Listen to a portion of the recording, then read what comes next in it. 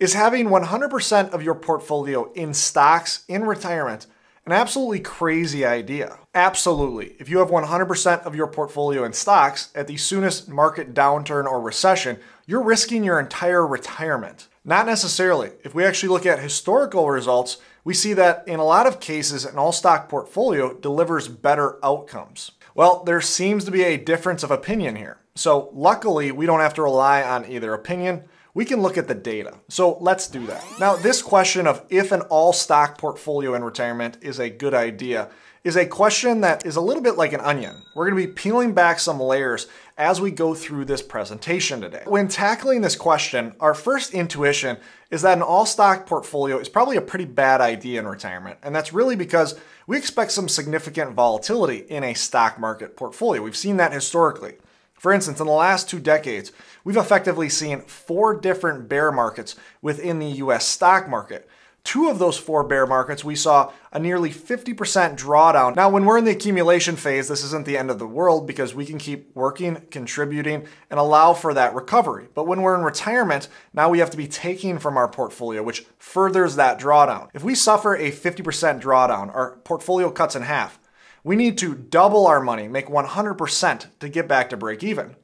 Well, if we're pulling from our assets during that time, and rather than being down 50%, we're down 60%, well, now we need to make 150% to get back to break even. And so it would seem that the more risk we take with our retirement portfolio, the worse outcomes we will receive. So our intuition would tell us that an all stock portfolio in retirement would be a pretty bad idea. But what do the historical results tell us? Now, on the left-hand side of the screen, I have a chart that shows the ending value of a 30-year retirement with a starting balance of a million dollars and you taking 4% per year as a withdrawal rate. Now, each of the data points that you see on the chart are one of those ending value portfolios. Now, with this chart, we're comparing an all stock portfolio to what is typically considered a balanced portfolio, a classic 60 40 with 60% into stocks, 40% into bonds. Now understand that the y-axis is being showed within current dollars. Now what we see with this data from 1928 to 2022 is we see that the blue line here, the all stock portfolio, actually ends up winning the majority of the time. For instance, 91% of the time, the all stock portfolio will beat the balanced portfolio in terms of this ending balance. But that alone doesn't tell us that much because in retirement, we really get one shot at retirement. Now, what's interesting is that when we dig deeper into the numbers, we peel back a few of those layers of this given onion, we'll see that it doesn't exactly cater towards the balanced portfolio winning out. In fact, in a lot of situations, depending on what metrics you're looking at, the all stock portfolio still wins. For instance, when we look at failure rate, we see that a all stock portfolio fails about 7.8% of the time. A balanced portfolio is slightly better at 6.3% of the time. We see that both with the average ending and median ending value, we see about double the amount on average within the all stock portfolio than we would see within a balanced portfolio. The next metric we'll look at is how close we were to failure. So if our portfolio's ending value was less than 35% of its starting value, so for instance, if we started with a million dollar portfolio and our ending balance was less than $350,000 in current dollars, that would be considered a near failure. We see that an all stock portfolio has 12.5% near failures, whereas a balanced portfolio has 17.2% near failures. Then the last metric we'll look at is what I would consider a large finishing portfolio. So this would be if your portfolio ended 300% higher in current dollars than you started with. And again, in this scenario, the all stock portfolio wins. So although historical results aren't 100% conclusive, we see that most metrics certainly cater towards an all stock portfolio being better than the classic 60-40 that's touted as the optimal golden retirement portfolio so often. For instance, there were only a few times historically where the bond portfolio added to your outcomes and ended up with a balanced portfolio winning over a all stock portfolio. But in each of these given years, we see the balanced portfolio really only win marginally. In most of the other years when the stock portfolio wins, we see that it wins by a fairly wide margin. So does this mean that an all stock portfolio is simply superior to a balanced portfolio? Well, not so fast. That's a little bit of jumping to conclusions. And the last thing that you should do is base your retirement off of a quick analysis that some guy on YouTube showed you. As we peel back additional layers, we may get a different interpretation of the data. For instance, thus far we've used a 60-40 portfolio as our comparison. We've used a 4% withdrawal rate and a 30-year retirement. As we start to mess with each of those given variables, we'll likely see different findings and different outcomes. Now, as fun as it would be to run through 100 different charts showing a bunch of changing variables, I'd rather show you my critical findings from running all of this analysis. The first thing I want to share with you is that time horizons matter. So on the screen, I have varying time horizons for someone's retirement, everything from 10 years to 40 years. Now, what we're going to see from changing these time horizons is that the shorter our time horizon, the more it caters towards adding some safety to our portfolio. The longer the time horizon, the more we should have a little bit more allocated to stocks. And this should match our intuition. If we think about it, we're taking more risk within an all stock portfolio. So even on the shorter term side of a 10 to 15 year retirement, we could experience a market downturn large enough that we could see some failures in an all stock portfolio. Now, on the flip side, the longer our retirement, the more we should have allocated to stocks because the more we're going to have downward pressures like inflation beating down our portfolio. Now, the second critical finding that's hidden if we're only looking at ending portfolios is not if the portfolio fails, but when the portfolio fails. And what we'll see is when stock portfolios fail, they tend to fail faster than the balanced portfolio. For instance, on the screen, I have two given examples here of 1929 and 1970. Now we've raised the withdrawal rates to 5% from 4%. And what we're going to see is when stock portfolio failures happen, they happen much sooner. So for instance, in 1929, we see that this all stock portfolio would have failed at about year 17 versus the balanced 60-40 portfolio would have lasted all the way till year 25. So we would have gotten eight more years out of a balanced portfolio than we would have gotten out of the stock portfolio. In the 1970 example, we see that the all stock portfolio failed about two years earlier than the balanced portfolio. So we'll consistently see because of that market risk that we'd be taking with that all stock portfolio, they tend to fail faster when they fail. The third layer we'll peel back is in relation to withdrawal rates. Now we're going to analyze this in the same way we analyze those time horizons, looking at various withdrawal rates. And there might be some things that are quite surprising here. For instance, the smaller withdrawal rate that you're using, it actually caters in certain ways towards a more balanced portfolio. I would say this is against intuition in certain ways, as most advisors would say if you have a low withdrawal rate, you can risk a lot more. And that's exactly what you're doing. You're risking a lot more. So, for instance, if you have levels of safety, you might be risking those levels of safety by taking more risk within the stock market. If we saw a large enough drawdown, all of a sudden those levels of safety vanish. Now, historically, we would have seen that a 2 and 3% withdrawal rate would have had 0% failure rates in both situations. But understand that if we see a large enough drawdown, you are risking some of that safety potentially. Now, the trade off there is in most cases, you're going to result in a much higher ending balance. Now, finding number four is can you handle the volatility? And I would guess this is the one finding that will rule out an all stock portfolio for most retirees. Having an all stock portfolio means that we are subjecting ourselves to the roller coaster ride that the stock market can sometimes be.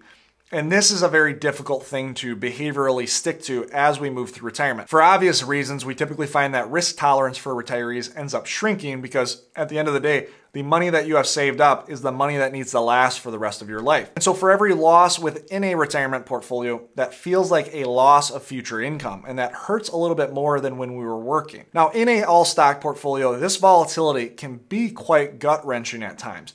For instance, if we would have started our retirement in 1990, for the first 10 years of our retirement, we would have seen incredible growth within that all stock portfolio, going from a million dollars in current dollars all the way up to above $2.5 million. But then over the next 10 years, we would have seen significant losses. Through the tech bubble and through the bear market of 2008, we would have seen our portfolio cut by 55% that $2.5 million portfolio would have fallen to less than $1.25 million. Now, the good news here is that this portfolio eventually recovered. And grew above 2 million by the end of this 30 year retirement. But dealing with that gut wrenching volatility for an entire decade of your retirement is something that most retirees can't handle in our experience. And with this in mind, I think we can all agree that the biggest risk here is making changes to that plan. For instance, you have a long term plan of, let's say, staying in an all stock portfolio. Then you experience a significant drawdown and you change that from an all stock portfolio to a more balanced portfolio, maybe 50 50.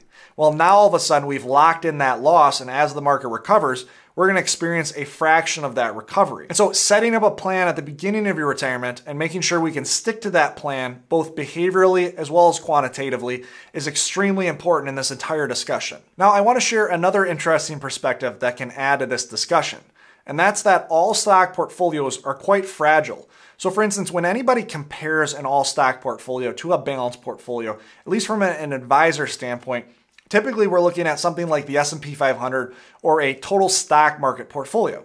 So it's a diversified stock portfolio. What we'll see is that stock portfolios can get quite fragile if you don't stay diversified. For instance, if we start in 1972 with a 30-year retirement, 4% withdrawal rate, in a total stock market portfolio under inflation adjusted dollars, we started with a million dollars and we ended with $763,000. Now, the problem here is oftentimes when we're analyzing portfolios for retirees, their starting portfolio is typically tilted in one direction or another. For instance, large cap growth has done extremely well over the last decade. And so oftentimes what I see in a lot of portfolios is they are very heavily weighted into large cap growth. And so what happens when we take this historical simulation and we trade out that stock portfolio? Now we're looking at an all large cap growth portfolio. Well, now we see a complete failure here. This large cap stock portfolio didn't last this retiree past 1994. We can look at another example. Let's start retirement in 1999. Now, we're not yet to the end of a 30 year retirement, but nonetheless, stick with me. And so, despite some market volatility during the first decade of this person's retirement, they still have a margin of safety as they sit right now. But what happens if rather than being invested in this total stock market portfolio, they were invested in a portfolio that follows the NASDAQ. Well, we know that the NASDAQ is a little bit more tech heavy of an index. And when the tech bubble burst, it obviously hit the tech industry harder than other industries. Well, in the first four years of retirement, this retiree would have lost 80% of their retirement portfolio and it would have barely lasted a full decade. And so we see that all stock portfolios can be quite fragile and it's very important to have a very balanced, diversified all stock portfolio if you decide to go that direction. But would we recommend it here at Safeguard? And the answer is no. And here's why. First, I think historical results are a good data point, but we shouldn't put too much stock into those historical results. The reason being is because when we're using a historical timeline, we have a lot of overlapping data. If you think about this, if we're using 100 years worth of data and we have a 30 year retirement, there are really only three distinct periods of results within that 100 year history. There's a lot of overlapping data. For instance, if we go from 1928 to 1957 as our first data point, we then move this window one year over and we go from 1929 to 1958. We have 29 years worth of overlap between those given retirements, despite that looking like a completely different data point. We ultimately should be running something called a Monte Carlo where we can simulate significantly more distinctly different trial periods. Typically what we find when we run simulations is that stock results get a little bit worse. Second, when we are looking at this very simplistic analysis, we're leaving out all of the dynamic income strategies that are available to you as a retiree. For instance, this entire time we've been looking at prorated withdrawals in this study. So in a balanced portfolio, you're taking 60% of your income from stocks, 40% from bonds, and you're rebalancing at the end of that given year. Well, in reality, there may be times where we're holding a cash position or another safe asset, and we're holding that position for if we see some stock market volatility. At that point, we might be shifting our entire income withdrawals from that safe asset and so we're allowing that stock portfolio to recover, thus leading to a balanced portfolio at times, leading to better results. There are also different strategies we need to be utilizing within our retirement plan, like Social Security timing strategies. In addition, based on the regime that we are entering into as we enter into retirement, we may want to shift those given allocations. For instance, over the last few years, we've been looking at very low interest rates. Thus, there is a lot of room for interest rates to rise, thus putting a lot more risk within bonds. So we may want to have a little bit more stock heavy portfolio or even allocate to safe assets in a different way than bonds right now.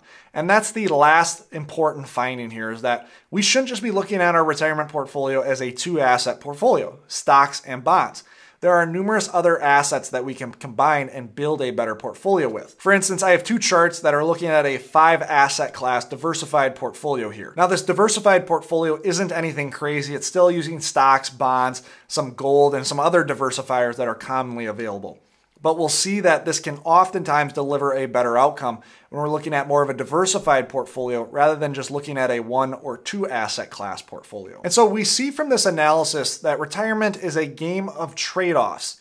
Now, how we get the most out of our retirement plan is balancing those trade offs to maximize your goals. Now, what should be your most important goal in retirement? Should it be to maximize your probability success score? Should it be to optimize for the largest ending portfolio value or optimizing for the largest risk adjusted return? Well, actually, it should be none of those things, in my opinion. In fact, in this video right here, I talk about what I think should be your number one goal in retirement.